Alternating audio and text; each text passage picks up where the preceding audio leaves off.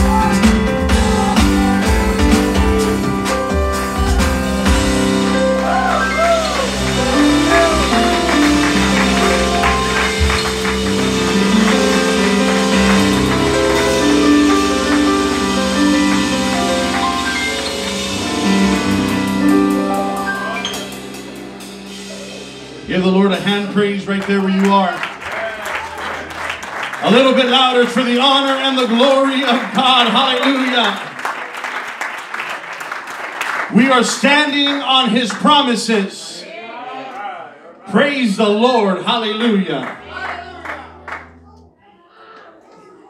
I want you to, if you have your Bibles or your, or your phone, or, or please put it on the computer here on the screen. Mark chapter 9, verse 23 for the honor and the glory of God. Now, I'm not the preacher tonight, but I just want to share a message and a thought real quick.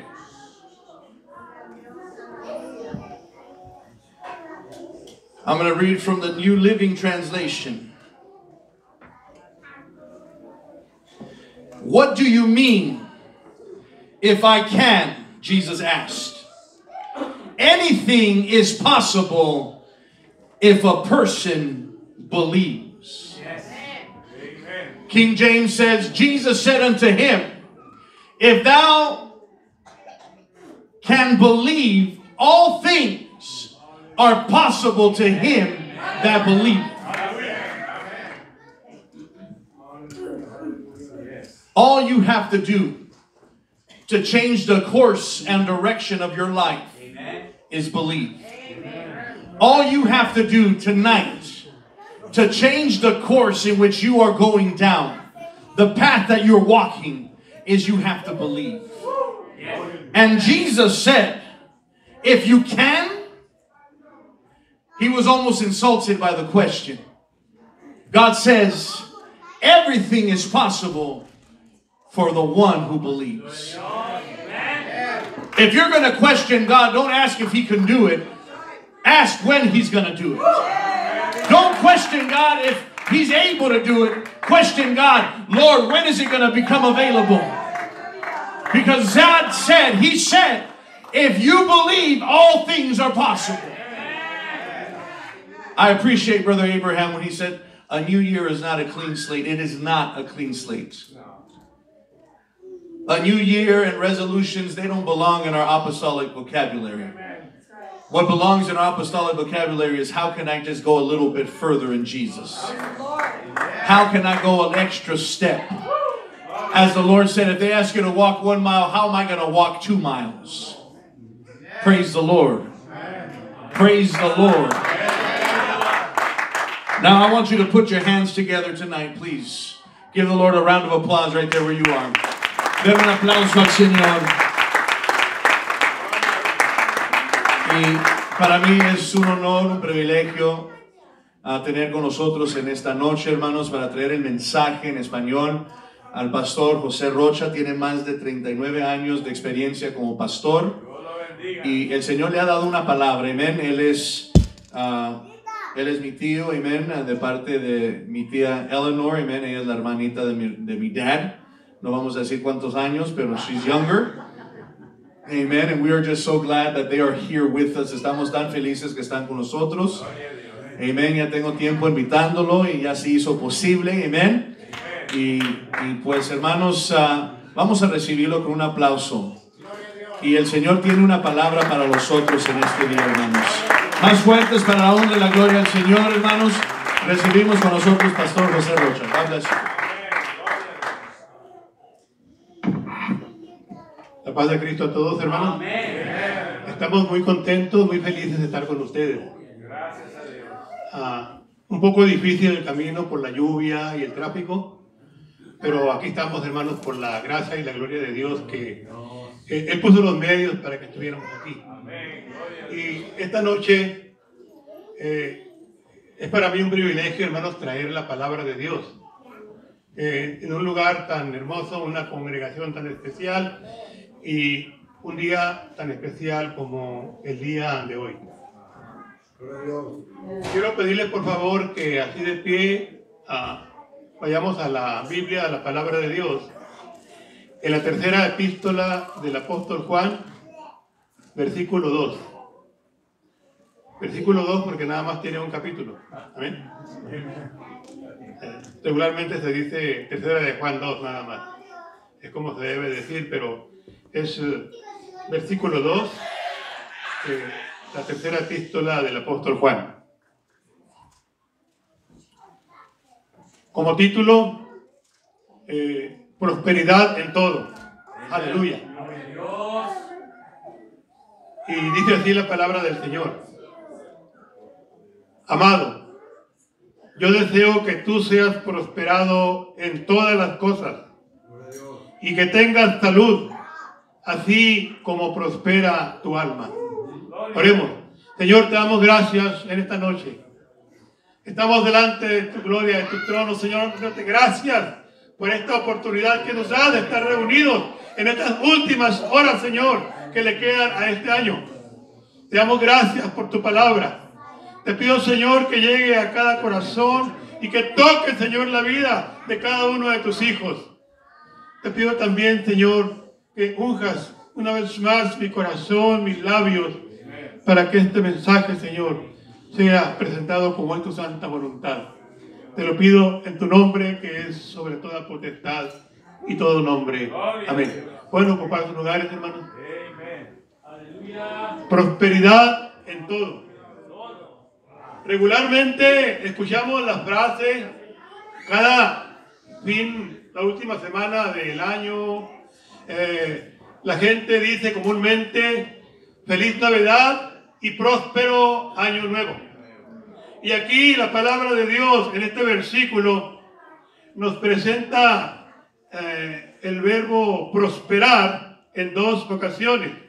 Yo deseo, amado, yo deseo que tú seas prosperado en todas las cosas y que tengas salud, así como prospera tu alma. Aquí nos da a entender varias cosas muy hermosas. Primero, cuando dice yo deseo, amado, se dirige, según el versículo 1, a Gallo. Gallo era un, hombre que, alguien que amaba la obra de Dios, alguien que amaba y que era muy servicial, especialmente con los evangelistas, con los misioneros que pasaban por aquel lugar. Y en la Biblia menciona a varios santos, varios eh, personajes con el nombre de Gallo. Eh, gallo de Derbe, en Hechos capítulo 20, verso 4, menciona a un gallo también de Corinto, en Romanos 1, capítulo 16, verso 23 y otro de Macedonia, como que ese nombre era muy común. Pero antes, hermanos, ustedes saben, la mayoría de ustedes saben que antes no había apellidos. Y la gente se conocía por el lugar, el pueblo, la ciudad o la aldea de donde eran, o el oficio al que se dedicaban. Por ejemplo, tenemos a Simón el Curtidor, en el, en el libro de los Hechos. Tenemos también, hermanos, a Lucas, el médico amado, a Juan el Bautista, y según, ¿verdad?, a lo que se dedicaban, al oficio que tenían, a Jesús, inclusive el mismo Jesús, se le conocía como el carpintero. Y también tenemos por los lugares, ¿verdad?, a Lidia de Teatira, Saulo de Tarso, y en este caso aquí menciona a Gallo de Derbe, Gallo de Corinto, de Macedonia, y algunos historiadores o comentaristas bíblicos eh, han investigado y creen que este gallo al que se refiere eh, no el gallo ave, no, no, sino gallo, el nombre propio. Porque gallo con doble L en español se refiere a, al papá de los pollitos, ¿amén? Pero gallo con Y es un personaje, un nombre bíblico. Y es lo que vamos a, pensar ahora en que nosotros debemos de ser, de imitar la fe, el trabajo, la dedicación, el esfuerzo que Gallo tenía. Y, por eso el apóstol dice, yo deseo el anciano. El apóstol Juan se presenta en la segunda epístola y en la tercera como el anciano. Y aquí dice, yo deseo que tú, quiere decir, yo oro por ti. En la versión de, eh, bueno, en algunas aplicaciones de teléfono, por ejemplo, un servidor tiene 28 versiones de la Biblia en español del teléfono. Y estaba viendo algunas versiones. Y cuando dice eh, yo deseo por ti, está diciendo yo oro por ti. Es que en realidad, hermanos, las oraciones, todas las oraciones son deseos. Pero qué curioso, no todos los deseos son oraciones. Porque la oración es un deseo santo, un deseo santificado. Y cuando nosotros deseamos algo ah, por alguien o para que alguien se, se recupere de alguna enfermedad, de algún problema, estamos orando por él. Por eso es muy importante que nuestros deseos se conviertan en oración y presentarlos al Señor. Presentarlos en su nombre, presentarlos y que Él se haga, hermanos, su santa voluntad en nosotros. Damos gracias a Dios porque el Señor ha estado con nosotros. Y aquí, hermanos, dice que eh, el apóstol desea que Gallo tenga mm, prosperidad en todo. Cuando decimos feliz año nuevo, estamos diciendo próspero año nuevo, perdón. Estamos diciendo que te vaya bien en el camino que vas a andar este año. Eso quiere decir. En realidad, próspero o prosperidad quiere decir que te vaya bien en este caminar, en este andar de la vida cristiana, que andes bien, que andes con, con gozo, con libertad, activando en las cosas de Dios. Orar para que sea prosperado en todo Quiere decir que nosotros tenemos que orar unos por otros, hermanos. Por la prosperidad. Cuando cada uno de nosotros prospere espiritualmente, la iglesia va a prosperar espiritualmente. Y si la iglesia prospera espiritualmente, va a ser edificada. Y si es edificada, la ciudad de Perry va a ser bendecida.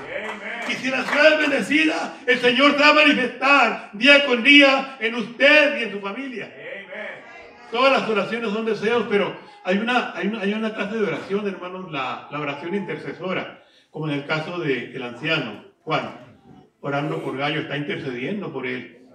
Y la oración intercesora tiene doble bendición, hermano, porque bendice tanto al que está orando, pero también a la persona por la que se pide. Porque eh, dice la palabra de Dios que nosotros es importante y que debemos de orar unos por otros. Confesaos vuestras ofensas unos a otros y orad unos por otros para que seáis sanados, porque la oración eficaz del justo puede mucho. Y el apóstol Juan era un hombre justo, hermano, y estaba orando por un amigo de él, por un hijo en la fe de él, y esto significa que estaba intercediendo por él. Orar por nuestros amigos, por nuestros hermanos. Es importante que todos nosotros nos veamos como amigos, pero siempre en usted, hermano varón, hermano joven, hermano Dorga, hay alguien que es más amigo que otros o que usted, su carácter, se lleva mejor con otro. No quiere decir que aborrezca a los demás, simplemente que tenemos un círculo de amigos en la iglesia. ¿ven? Eso es cierto, no podemos negarlo. Cuando alguien dice, yo nunca digo una mentira, en ese momento ya está mintiendo. Porque dice la palabra de Dios, sea solo Dios verá y todo hombre mentiroso. Entonces aquí estamos diciendo nosotros, bueno, no, no nosotros, sino la palabra de Dios, hermanos, que tenemos que orar unos por otros. O sea, nosotros, quise decir, tenemos que orar unos por otros. Así dice la palabra de Dios en Santiago 5, 16. Y miren algo hermoso. En el capítulo 42 de Job, versículo 10, dice la palabra de Dios que cuando, cuando que Dios restauró la prosperidad de Job, Dios quitó la aflicción de Job cuando él oró por sus amigos. ¿Y qué pasó ahí? Los amigos de Job fueron eh, perdonados por el Señor. Y Job fue restaurado de su terrible enfermedad. Y no solamente eso, quitó Jehová la aflicción de Job cuando él hubo orado por sus amigos y aumentó al doble, al doble todas las cosas que tenía antes de enfermarse. Ahí está, podemos decir triple bendición porque porque el Señor perdona a los amigos de Job. Y aparte lo sana y aparte le da no lo que tenía antes, sino el doble. Hermanos, qué bendición. El Señor así trabaja. La oración intercesora. Cuando usted ore por su hermano, cuando usted ore por otra familia que usted conoce aquí en la iglesia, los dos familias, usted y la familia esa, van a ser eh, prosperados, van a ser edificados. Porque así trabaja Dios, hermano. El Señor tiene una manera muy especial. Y en el caso de Job, a mí desde hace muchos años me, llamó la atención cuando leí este libro, hermano, que el Señor le dio el doble de lo que tenía, pero le dio la misma cantidad de hijos. ¿Por qué sería? Porque si le da el doble de hijos, tenía que trabajar más, cuidarlos más, criarlos, educarlos, eh, y todo eso, pues, y eso, pues, no puede ser bendición material, es más trabajo. Por eso el Señor trabaja muy exacto, muy correcto y le da el doble de lo que tenía en, ganado, en, ovejas, en camellos, en yuntas de bueyes y en asnas. En todo le da el doble, pero los hijos le dan los mismos siete que tenía antes. Y que así trabaja Dios, también. Gloria a Dios. Y Señor, el Señor trabaja así, a Él sea la gloria y la honra.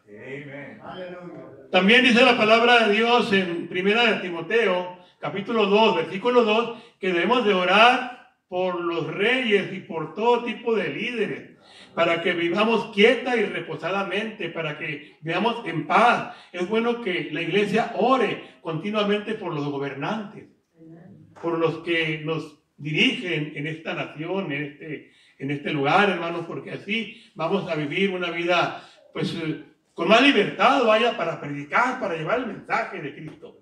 Eso es importante. Hay muchos tipos de libertades, muchos tipos de bendiciones, pero si nosotros oramos por los reyes, por todo tipo de líderes, hermanos, Dios va a bendecir a la nación, al país y también a usted y a mí. Porque estamos hoy intercediendo. Amén. Pero Cristo da, Cristo da una enseñanza especial, algo difícil en el Sermón del Monte, en Mateo capítulo 5, versículo 44. Dice, hermanos, que nosotros mm, tenemos que, pero yo les digo, amen a sus enemigos y oren para que los persiguen.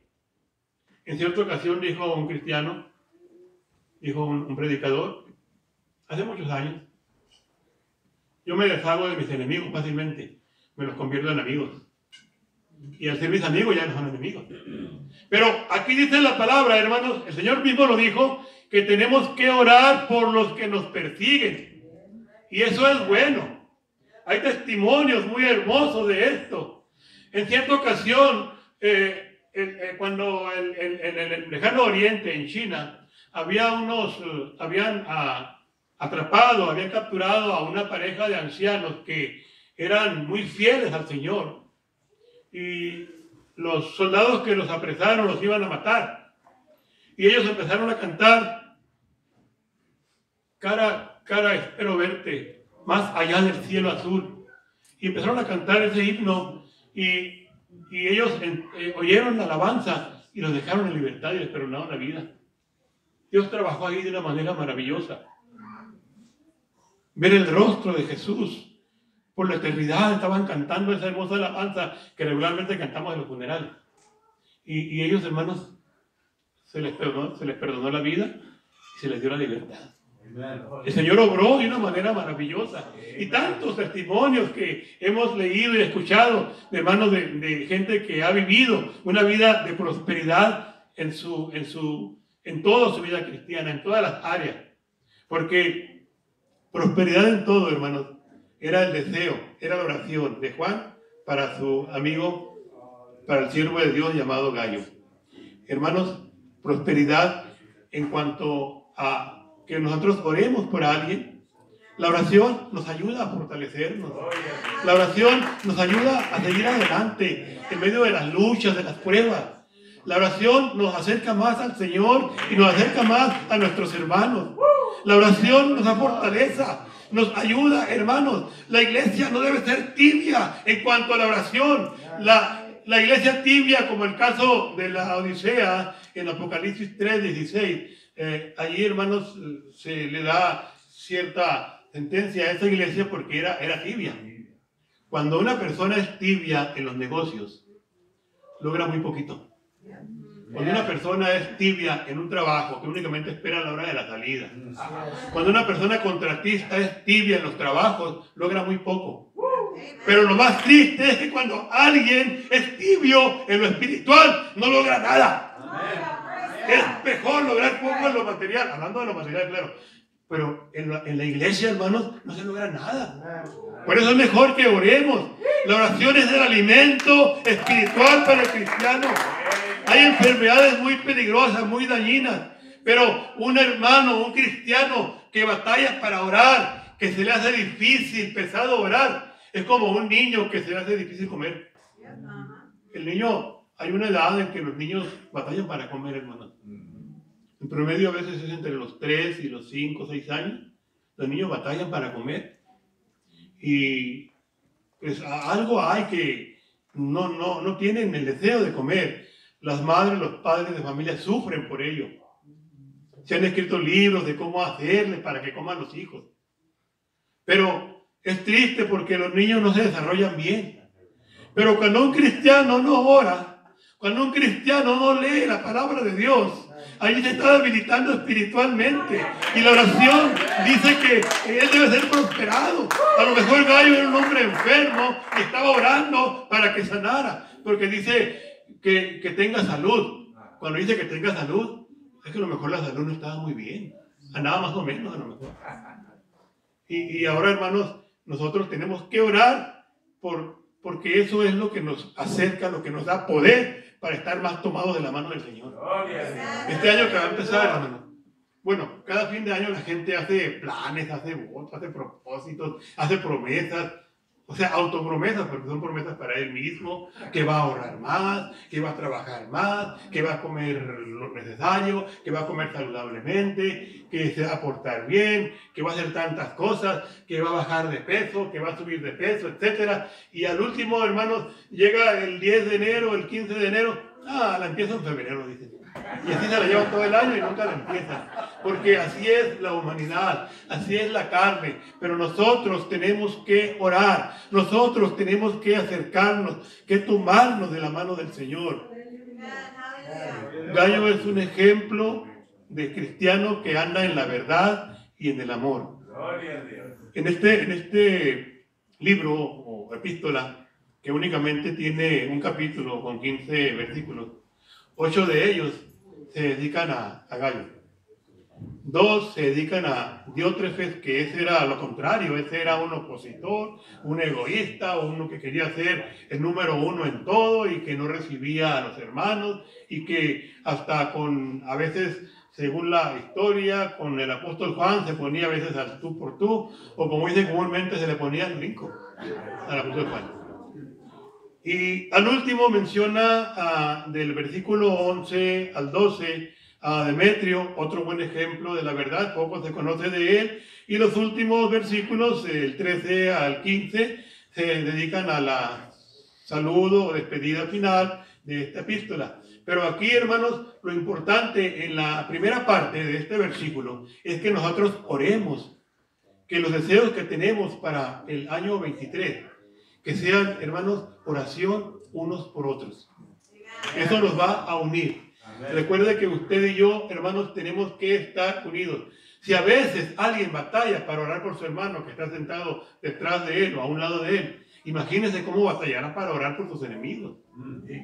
Cómo se le hace difícil orar por los que lo persiguen. Yo creo que a lo mejor no lo hace. Es casi seguro que no lo haga porque, o si lo hace, lo hace con mucha dificultad. O si lo hace, a lo mejor lo hace únicamente el 31 de diciembre entre 11 y 12 de la noche y después se lo olvida.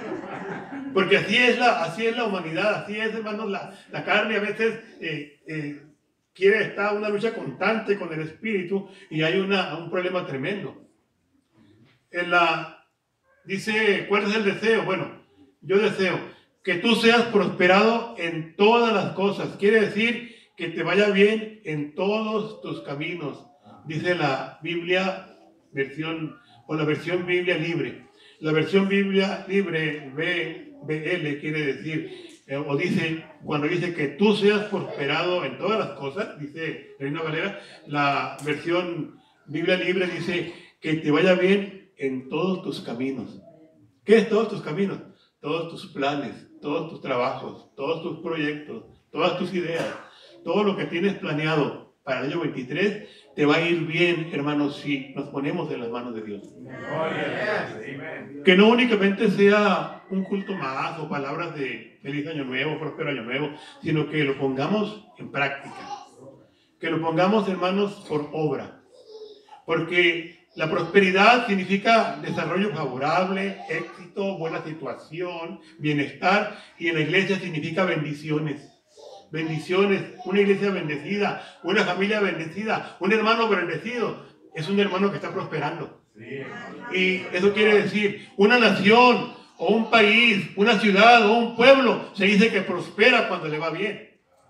Y nosotros, dice en primera de Pedro 2.9, que vosotros sois linaje escogido, real sacerdocio, nación santa, pueblo adquirido por Dios, para que anunciéis las virtudes de aquel que los llamó de las tinieblas a su luz admirable. ¿Cuáles son las virtudes?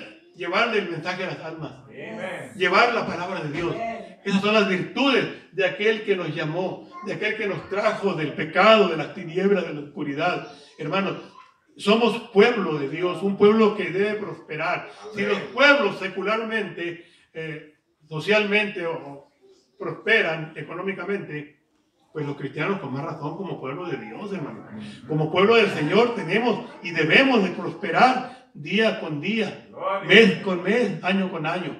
Y hermanos, en todo, aún, hasta un negocio se dice que prospera una familia, una persona, prospera cuando le va bien y nosotros vamos a prosperar este año 23 en todos los caminos. Eh, sería bonito que el año 23 lo miráramos como, como una ruta o un freeway, un highway 23 y que vamos a caminar 365 millas por ese camino y que lo hagamos hermanos con gozo, con libertad, con amor, con alegría, contentos porque sabemos que vamos y estamos tomados de la mano del Señor. Eso es bonito desarrollarse, prosperar con la oración, con el trabajo, con la unidad y la comunión en la iglesia, orando, asistiendo a las actividades. No se espera que tenga un cargo o un puesto importante para trabajar en la obra de Dios. Hay que hacerlo, ahí donde está, hay que hacerlo, ahí donde se encuentra. Cuando yo era recién bautizado, hermanos, hubo un himno que me gustaba mucho. Y, y paradójicamente yo me encontraba trabajando en un pueblo en la Baja California Sur, un pueblo muy aislado. En aquel tiempo no había carretera, no había camino pavimentado para allá, ah, únicamente una avioneta, un avión de esos que usaban en la Segunda Guerra Mundial, iba dos veces por semana para allá. Cuando el avión se descomponía no había manera de transportarse, de, ir y venir. Y allá escuché una radio cristiana. Creo que la radio era de acá del área de Daniel, de acá de California, hasta allá llegaba, más allá de Guerrero Negro, en la Baja California Sur, y escuché un himno. Ese himno fue el primer himno que me aprendí de memoria. Brilla en tu lugar. Dice el coro, brilla en el sitio donde estés, hermano. No esperes a tener un cargo, a tener un puesto que te va a durar un año o dos. La vida cristiana va a durar todo el tiempo que estés en esta tierra. La vida cristiana va a durar todo un, año o dos o más. No sabemos, pero los, los meses, los días que Dios nos preste, que Dios nos dé el año 23, hay que aprovecharlo como si fuera el último mes, como si fuera el último año de nuestra vida, porque ahí es cuando nosotros vamos a prosperar espiritualmente, a prosperar, hermanos, y a, vivir una vida de más de más fortaleza, de más bendición.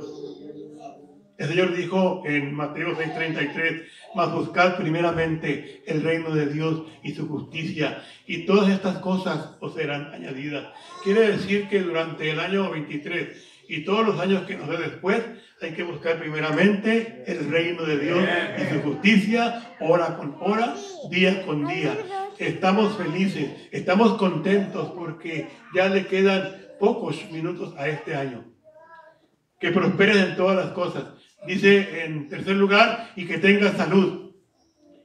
Que tengas buena salud, dicen las versiones eh, más últimas, más modernas. Que tengas buena salud. Porque alguien puede tener salud, alguien puede tener regular salud y alguien mala salud. Pero aquí quiere decir que tengas salud, obviamente que tengas buena salud. Juan está orando para que su amigo Gallo tuviera buena salud. No sabemos, no dice la Biblia, qué edad tenía Gallo, pero sabemos que Juan ya pasaba de los 90 años. Amén. Porque cuando se escriben las epístolas, parece ser que curioso que las epístolas se escribieron un poco después del Apocalipsis. Porque el Apocalipsis recibió la revelación en la isla de Patmos. Y cuando las epístolas fueron escribieron, cuando menos eh, la seguridad es que la segunda y la tercera se escribieron después del destierro del, cuando el emperador que lo mandó para allá murió, el destierro a Patmos termina y ahí es cuando escribe las epístolas. Entonces Juan para entonces ya era un anciano. Amén. Y gloria a Dios por ello, porque también eh, todo parece indicar que fue el último de los primeros 12 apóstoles originales, el último que falleció. Y, y, por eso, hermanos, él habla con esta seguridad, con esta experiencia. Y dice que tengas buena salud, que tengas salud. La salud es parte muy importante, hermanos, en nuestra vida. Para prosperar es necesaria la salud física también. Es importante porque eh, cuando queremos prosperar y estamos enfermos, como que estamos limitados, amén. Porque miren, la, la, ¿de qué le serviría a alguien la prosperidad económica, social o material? ¿De qué le serviría si está enfermo? ¿De qué le serviría a alguien vivir en unas montañas con un bosque muy hermoso, con un jardín en su casa, no muy lejos del mar, habiendo mucho aire puro alrededor, pero si tiene dificultades para respirar, aunque le pongan aparatos y mangueras y tubos? ¿De qué le serviría? ¿De qué le serviría a alguien, hermanos, tener los mejores, disculpen si no han cenado, pero ¿de qué le serviría a alguien tener los mejores manjares y alimentos a su alrededor, a su alcance y no poder comer? Lo mejor, hermanos, para poder, ¿de qué le serviría a alguien, hermanos, tener mucha prosperidad social, prosperidad económica y, y no tener eh, la habilidad o la posibilidad de poder caminar, de poder ver, de poder moverse.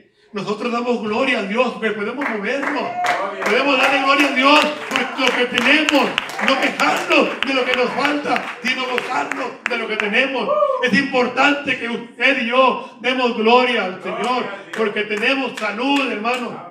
¿Cuánta gente está limitada? ¿Cuánta gente tiene, hermanos, prótesis en los brazos, en las manos o en las piernas porque fue víctima de un accidente o es veterano de guerra o algo y no puede para muchas cosas valerse por sí mismo? Demos gloria al Señor porque nuestra salud está bien, hermano. Demos gloria a Dios porque podemos hablar, podemos glorificarle, podemos levantar las manos, podemos con libertad venir a los cultos, podemos trabajar en la obra de Dios. Es bueno esto, hermano. La prosperidad es importante, pero con salud es más fácil prosperar y trabajar en la obra de Dios. Hay muchas enfermedades, hermanos, en los últimos años. Ahorita anda de, de casi nueva la palabra tripledemia o tres pandemias que han llegado en los últimos menos de tres años. Y esto es triste porque estamos viviendo tiempos muy difíciles, climas extremosos, eh, que causan enfermedades eh, físicas, enfermedades de, los pulmones, enfermedades mentales, hay mucha violencia y la palabra de Dios nos dice, hermanos, en el libro de los Efesios, vamos a, a leerlo, Efesios capítulo 5, versículos 16, 15 y 16. Efesios 15 y 16 dice, mirad pues con diligencia con inteligencia, con diligencia. Mirad pues con diligencia cómo andéis, no como necios, sino como sabios, aprovechando bien el tiempo, porque los días son malos. Pero tenemos un Dios bueno con nosotros. Esa es, la, esa es la diferencia, esa es la bendición. Los días pueden ser malos, el clima puede ser terrible, a veces que allá en el sur de Nevada tenemos las cuatro estaciones del año en menos de una semana. Y eso provoca enfermedades, eso provoca incomodidades. Pero tenemos un Dios todopoderoso que está con nosotros, que afirma nuestros pies, que nos da la, sabiduría y el poder para buscar su rostro. Tenemos que buscar al Señor, tenemos que andar, dice también en Colosenses 4, versículo 5, andad sabiamente para con los de afuera, redimiendo el tiempo. Sea vuestra palabra siempre con gracia, sazonada con sal, para que sepáis cómo debéis responder a cada uno. Gallo era un hombre que andaba con sabiduría, andaba con diligencia y que era alguien muy servicial, hermanos. Por eso Juan está pidiendo por la salud de este varón, de este hombre. Y tenemos, hermanos, también eh, al último o en tercer lugar, dice eh, que tenga salud, así como prospera tu alma. Ah, dice la versión Biblia libre, pues, dice, pues sé que espiritualmente estás bien. Por eso, recuerden que al principio mencionamos que prosperidad significa estar bien, que te vaya bien. Entonces, aquí está acertado lo que dice eh, cuando la versión Reina Valera antigua dice, así como prospera tu alma, las versiones más recientes dicen, pues sé que espiritualmente estás bien, estás bien. Es lo mismo, hermano. Está explicado, está parafraseado de una manera, a un lenguaje actual. Y por eso es importante, es necesario que nosotros entendamos que nuestra vida espiritual debe estar bien para poder nosotros prosperar en todas las áreas, en todos los aspectos de nuestra vida. Ama la obra de Dios. Esa era una característica de, este varón, de este hombre llamado Gallo. Amaba la obra de Dios. El versículo 3 dice que anda o andaba en la verdad. En, la tercera de Juan, versículo 3, dice, pues mucho me regocijé cuando vinieron los hermanos y dieron testimonio de tu verdad de cómo andas en la verdad. Y si andaba en la verdad, andaba con diligencia, andaba con sabiduría, andaba en la verdad, andaba en la palabra de Dios, según el versículo 3. Y de acuerdo con el versículo 5 dice que ayudaba a los evangelistas, aún sin conocerlos. Es que hermanos, cuando uno conoce a hermanos, siente como que son familia de uno porque tenemos en común al Señor. Tenemos en común la fe. Eh, cuando fuimos nosotros a la séptima, séptima iglesia de Las Vegas, la número 7 de Las Vegas. Yo me sentí identificado ahí con los hermanos. Porque, bueno, cariñosamente le llaman la iglesia de los viejitos. Porque hay como cuatro matrimonios o cuatro parejas eh, más ancianos que mi esposa y el servidor. pero me gustó y me siento identificado. Aquí hay muchos jóvenes y también me siento identificado. Porque, hermanos, tenemos una misma meta tenemos una misma fe, tenemos un mismo propósito.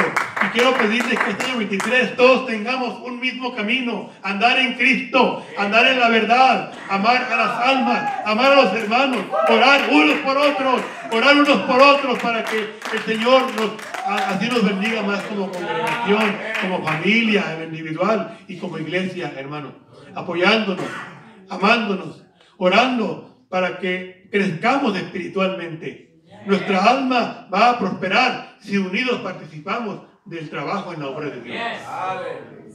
Como familia vamos a prosperar si nos unimos a la familia pastoral, si nos unimos a la familia de cada uno de ustedes. Hermanos, también es importante que nosotros eh, nos vaya bien en este camino, progresando, prosperando espiritualmente, día con día, es la voluntad de Dios. Tenemos que vivir en la verdad, tenemos que vivir en el amor.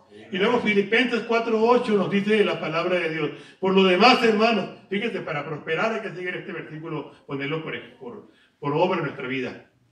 Si ponemos por obra nuestra vida, Filipenses 4.8, vamos a prosperar, hermano.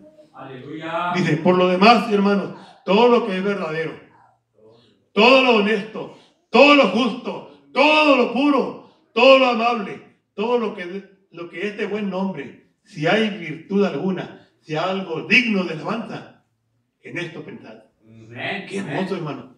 Si usted y yo estamos ocupados en las cosas de Dios, no vamos a dar oportunidad a nada ocioso, a nada malo, porque vamos a estar pensando en lo que es digno de alabanza, en lo que es hermoso, en lo que es virtuoso, en lo que es honesto, en lo que es justo, en todo lo que el Señor quiere que andemos.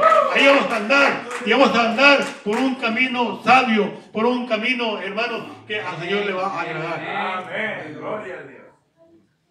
Gallo, amigo, discípulo e hijo en la fe del apóstol Juan, pensaba y practicaba todas estas cosas que dice a Filipenses 4.8, porque dice la parte central de este versículo, todo lo amable. Y él era servicial, era amable, estaba dispuesto a ayudar y participar en la obra de Dios. Estaba siempre dispuesto a ser un elemento útil de bendición para todos los que pasaban por ahí por donde él vivía. Estaba dispuesto a tender su mano amorosa, su mano de lealtad, de amistad para todos aquellos, aunque no los conociera. Y nosotros, aún sin conocerlos, hermanos, el Espíritu, la presencia de Dios en nuestra vida es la que nos identifica. Cuando el hermano fue a, allí a, donde estábamos, mi esposa y yo esperándonos, el hermano Daniel Casilla. Yo luego supe que era él cuando llegó. Y él luego supo que éramos nosotros. Porque algo nos identifica. Sabemos quiénes somos, aún sin saber, sin presentarnos. Bueno, yo ya sabía que iba a ir un hermano llamado Daniel, pero no me acordaba el apellido. Y le dije al hermano, de su nombre sí me acuerdo porque un hijo mío se llama Daniel. Pues qué chiste así, ¿verdad? Pero su apellido no me acordaba muy bien. Pero lo que quiero decirles es que algo hay, la presencia de Dios, que nos identifica, hermanos. Qué hermoso cuando en el trabajo alguien nos dice, oye, tú eres aleluya, ¿verdad? por la gloria de Dios. Cuando alguien nos diga aleluya, es un halago. Es una bendición. Es mil veces mejor que un piropo. Porque aleluya es el que da honra y gloria a Dios. Si usted y yo damos honra y gloria a Dios en este año, Dios nos va a bendecir.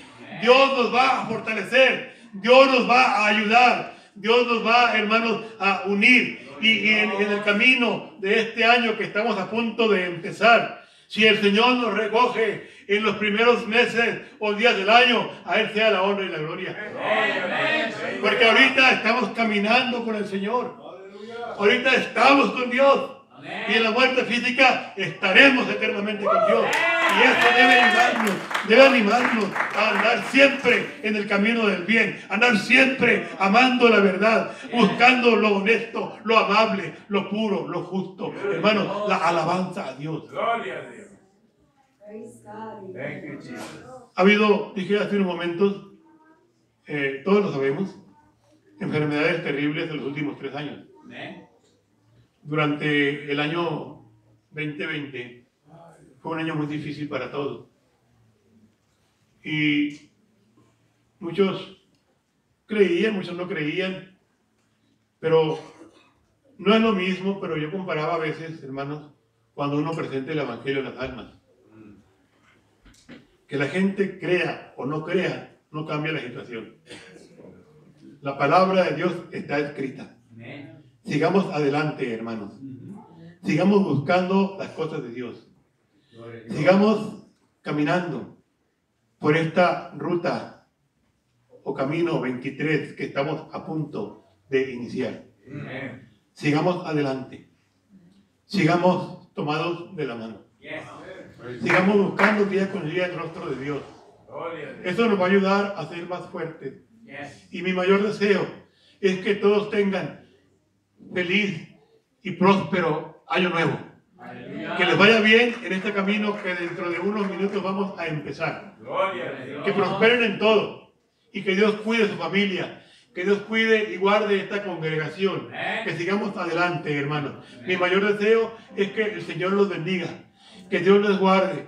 Y que damos muchas gracias y mucha gloria a Dios por habernos permitido estar con ustedes en este último culto del año. Hermanos, Dios los bendiga, Dios los guarde. Y estoy muy contento porque el hermano pastor, nuestro hermano pastor Severo mencionó, ¿verdad? 39 años de experiencia pastoral. Pero hace 43 años que entré a formar parte de la familia León. Mi esposa es hermana del hermano Brígido y estoy muy contento de pertenecer a la familia de Cristo y también a la familia de mi esposa. Dios les bendiga a todos, Dios les guarde, hermano. Voy a dejar el lugar para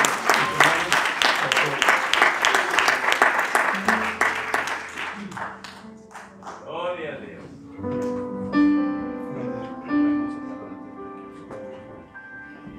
Un aplauso al Señor, hermanos. 43 años con la familia León no es fácil, hermanos. Amen. It's not easy, but you see, it's not impossible. Amen. ¿Qué deseamos para el pastor Rocha? Que el Señor lo bendiga. Amén. We have just a few more minutes before we surrender 2022. Amen. And if you would just give me a few moments, I want to pick up in English where our pastor here was was preaching. And he was preaching on a message of prosperity for all of us. A beautiful word. But there was something there that resonated a note. If you are lukewarm, you will not accomplish anything in the Lord. If you are lukewarm to the things of God, you will not achieve the desires of your heart. And I want to challenge you today, this moment. Don't wait till next year. Just do it now. To commit yourself to fully serving the Lord in the manner in which He deserves. Not in the manner in which we feel He deserves, but in the manner that God deserves that we serve Him. Because that's the problem, right? We go to the doctor and we think we know what we need to remedy the sickness, to remedy the, the problem. And when he tells us something that doesn't go with what we think we need, we say we need to get another opinion. We need another doctor. We need someone else. And when those doctors tell us the same thing, we say we need to go get better medical insurance. Because if it doesn't work the way we want it, if it doesn't happen the way we desire for it to happen, then we feel like it's not happening the right way. But God is saying, when are you going to put your agenda to the side and surrender 100%? Don't be lukewarm. Don't don't don't be room temperature soda. That's I don't know about you, but I cannot handle room temperature soda. I was speaking to my brother Ralph, and he told me the one thing that he does not like about Europe is that there is no ice. He says he said it was the worst feeling, he says, when he was in Naples drinking room temperature soda and eating warm pizza. And I said, God bless America. Listen, do not feel like God has to submit to you, but rather you need to submit to God. Because that's the biggest mistake. We try to fit Jesus into the box that we want to carry him in. And God is omnipresent. He's everywhere. He's everything. Ah. He bleeds and transcends time. Amen. And we cannot do that. We cannot bottle Jesus Christ. So I want you to let go of your of, of your of your fear. And I want you to embrace the faith. And as we read in Mark chapter 9, 23, if you can, said Jesus, everything is possible for one who believes. So I'm going to invite you to stand. And we're going to invite our praise team. Amen. To make their way up. And Brother Jonah, if you would be so kindly to go gather the children. Amen. God bless our children. Amen. Amen. For many years, our father rented from a congregation that had a temple that fit about 600. Beautiful, beautiful vaulted ceilings, and the sanctuary was beautiful, and the grounds were beautiful, but it was always so quiet because they didn't have any more children. They were the last of that congregation. The deacon was 83 years old. And he told me, he said, Once I die, I'm the last. This is it. He said, when we come and we see that you're here and we see the kids running and we see you using the classrooms that were made for children to be used, it brings us great joy. Because the church has come to life. Listen, I know that sometimes you see little Rispa running around and making noise and jumping and shouting, and it takes three ushers to calm her down. Four, sometimes four. But I want you to know that there is life in this place. We should never, ever tell our children that they're not welcome in this place. This is for them as much as it is for us, as it is for the ones that are to be called. Cuando mi padre era pastor ahí en la ciudad de Bloomington, rentábamos de un templo muy hermoso. Muy hermoso. Más de 600 personas cupían. Tenía unos, un techo tan hermoso, hermanos. Y si ustedes pensaban que estos arbolitos que pusimos aquí estaban grandes, no, hermanos, ahí teníamos un árbol de 20 pies. Hermanos, esa congregación ya no tenía niños.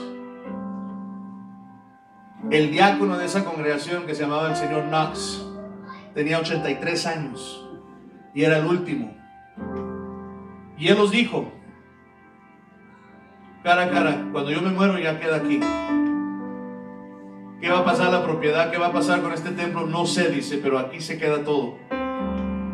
Dice, los da mucho gozo. Cuando venimos, dice, lo estamos viendo, dice, que ustedes abrieron los salones de niños, dice, están niños allá adentro ocupándolo, gritando, corriendo, hasta quebramos ventanas. Remember that, Pastor?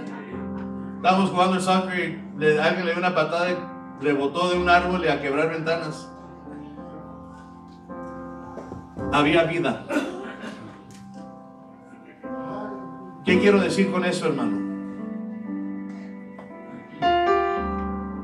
Mientras esta iglesia está aquí en la tierra,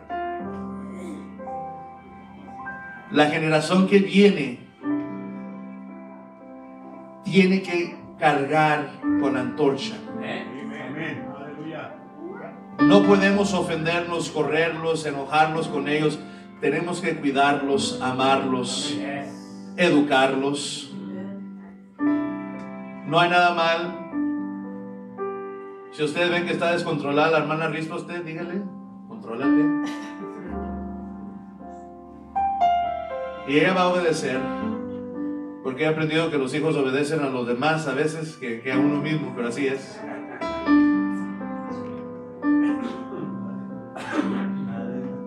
Hermanos, estamos a momentos de entregar este año y quiero impulsarlos, retarlos. No se espere.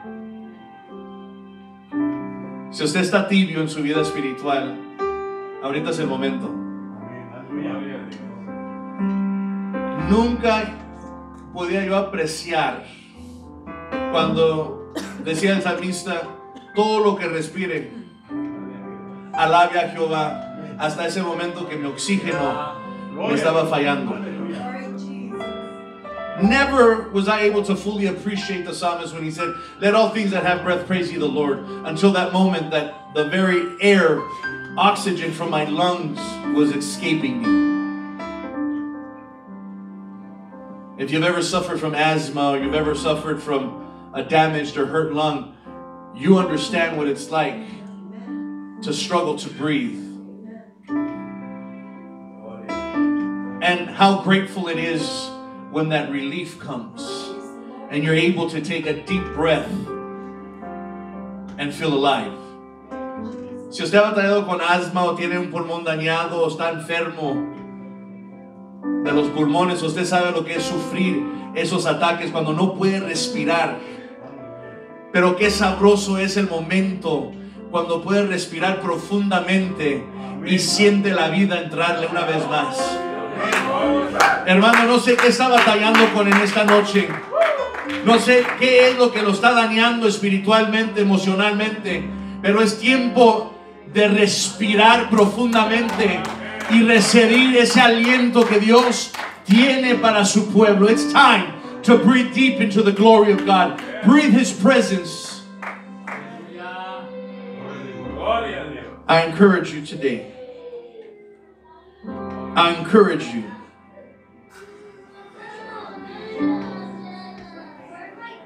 Hermanos, vamos a entregar este año y voy a pedir que pasen, por favor.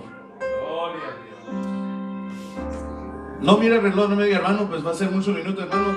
Si no podemos adorar unos 10 minutos, ¿cómo vamos a hacer en el cielo? Pasen, por favor, pasen.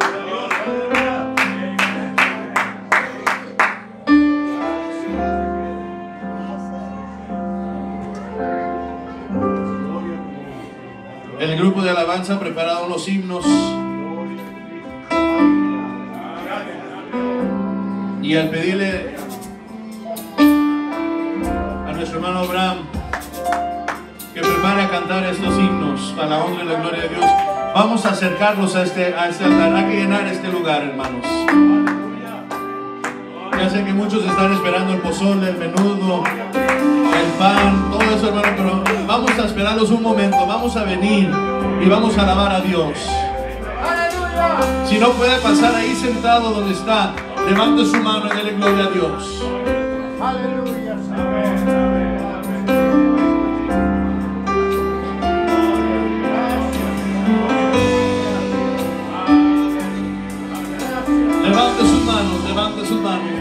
Gracias a Dios.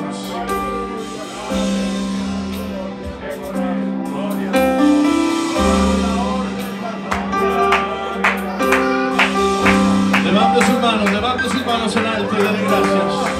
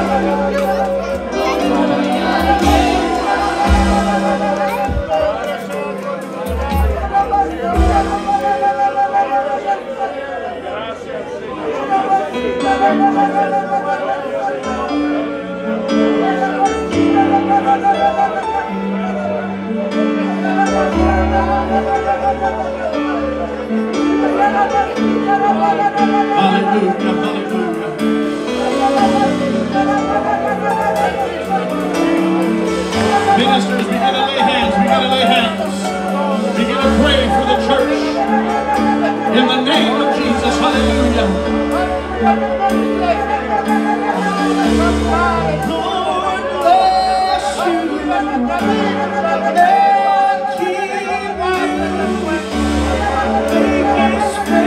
shine.